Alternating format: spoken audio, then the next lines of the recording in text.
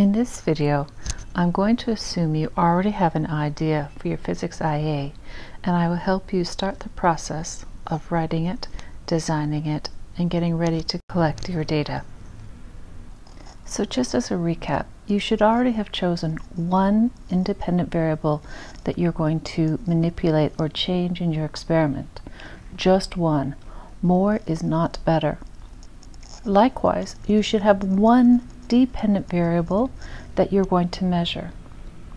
Now, some people might say a controlled variable, those are all the things that need to be kept constant.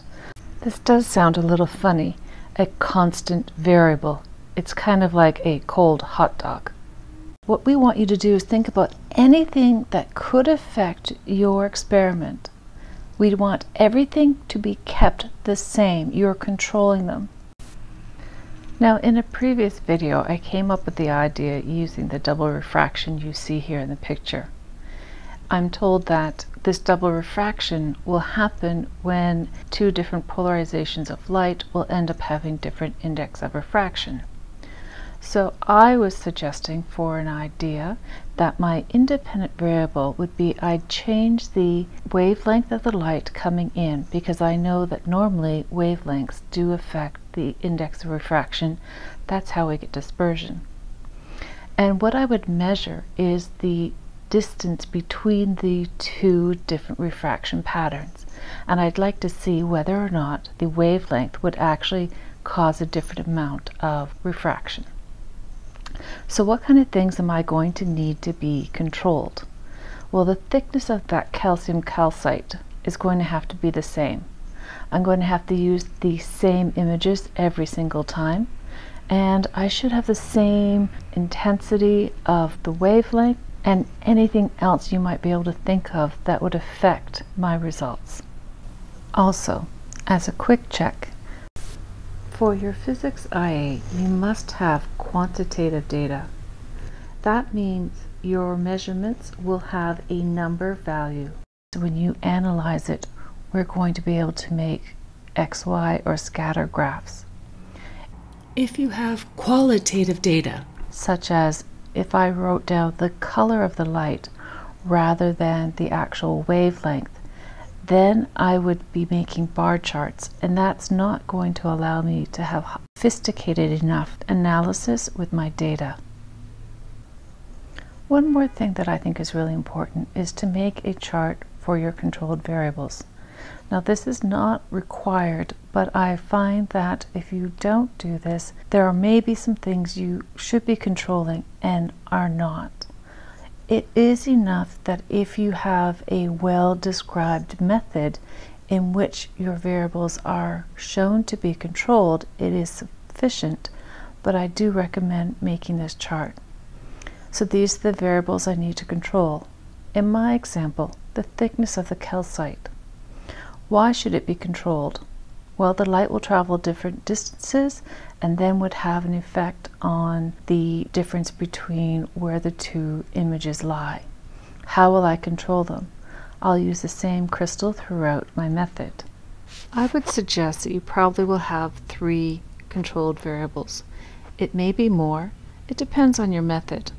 What we don't want you to see, though, is you writing many, many variables here with the idea that more is better. We want to make sure they do have a effect on our independent or dependent variable. For example, you don't need to tell me to stand on only my left foot when using a ruler.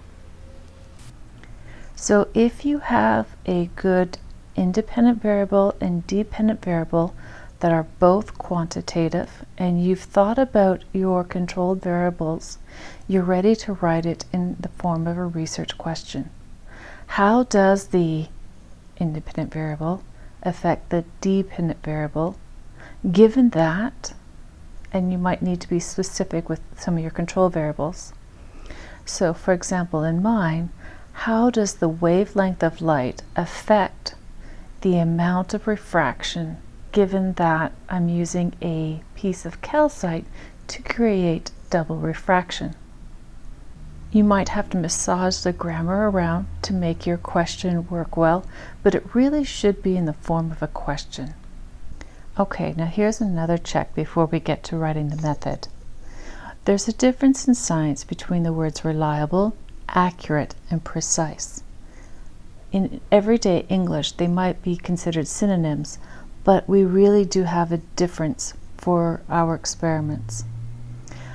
Reliable, I like to think about is if a different person on a different day did the experiment, will you get the same result? If you have something that's very easily changed, then you're not going to be able to make a generalized statement of the outcome. It would be very specific to that particular trial. So we would like to be able to make these generalized statements at the end, so we need to have a reliable method. If you talk about the value being accurate, it means that the value you have measured is close to the real or accepted value. It's not possible to be perfect, but we'd like to be close to the real value. Now, precise can have two different meanings. For a single measurement, we're talking about how many decimal places you have.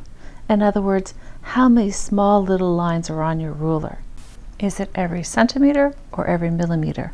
Every millimeter will be more precise. For a collection of measurements, we want to know how close the results are together and I've got an example to help us. So let's use the analogy of a bullseye. We're going to assume that we really do want to be aiming for the center of the bullseye. That means it's going to be the most accurate if you actually hit the center. So in this bottom right hand corner you can see that all of the shots are close together and in the center. That means it's going to be both highly accurate and highly precise. In comparison, this one in the top right corner, you see how all of the shots are very close together. That means there's a high amount of precision, but because it's not where it's supposed to be, there is a low accuracy. Now, if there's any science that you've had to use so far that is not straightforward, we need to actually make sure the reader of our report will be able to understand where we're coming from, the science behind the experiment. I like to think of your IA as a story. So this part is like setting the scene. Your variables are the character in the story, and we want to know where it's set or any kind of things that are happening in the background that will guide our method.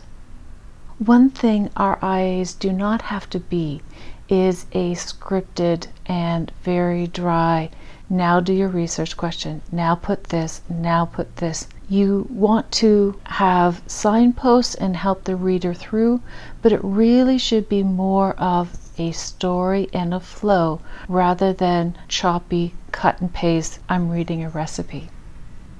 Okay, so now let's finally think about the method. You've got your independent variable, you've got your dependent variable, you know what you're having to do to measure it, and all the things that need to stay the same. One thing you want to think about is your independent variable should be manipulated at least five times. So in my example, I'm going to need to use five different wavelengths in order to do my experiment. We also want to take the measurements of our dependent variable at least three times. That way, if there's any variation in our data, we can take that into account in our analysis. If there's going to be a lot of variation and our experiment is easily reproduced, we should do more than that. If you watch one of my other videos on analyzing data, you'll see that I actually did each one five times, giving me 25 pieces of data. Don't forget, if you told me something needed to be controlled in that chart, it should be obvious in your method that it is being controlled. For example, if I've said that temperature needs to be controlled, then I better have something in my method saying that I'm doing it in my lab at a certain temperature or if I'm out in the side, I'm going to use, you know, the same day and I'm going to write down what temperature it was outside. Sometimes when we're going through, it's going to be very difficult to explain how to take your measurements. And I do recommend as you're working through that you take photos as you're working. It's a lot easier to remind yourself of what you're doing. Now, in your actual report, you might use the photo or you might create a diagram. It really depends on how easy it is to see the photo. Most times, a diagram will be easier to follow. I also want you to think about this as more of a methodology rather than just a method.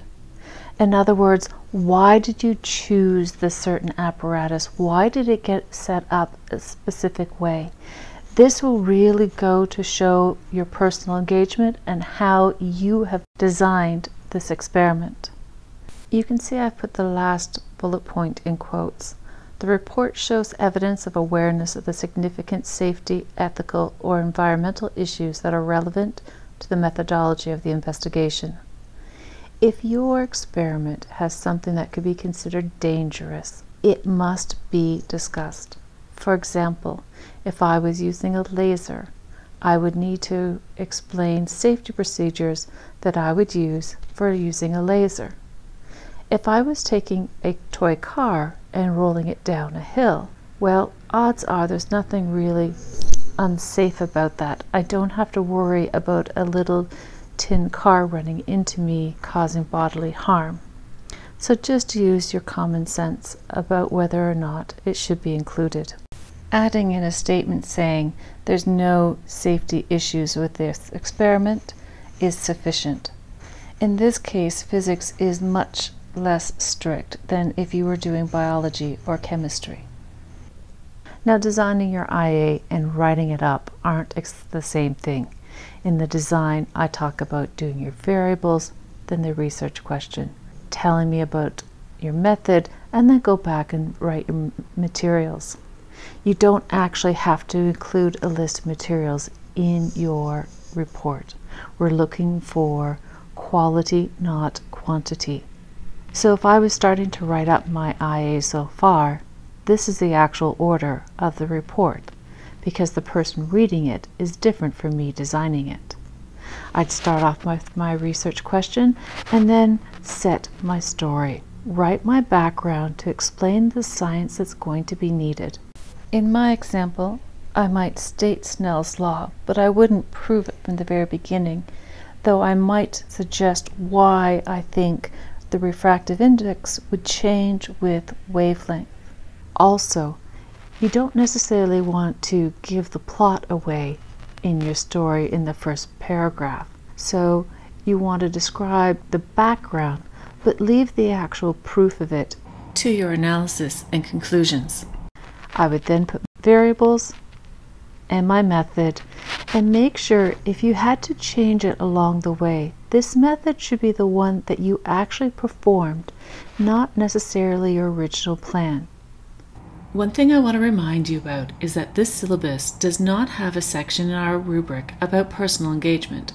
There should be no section titled Personal Engagement.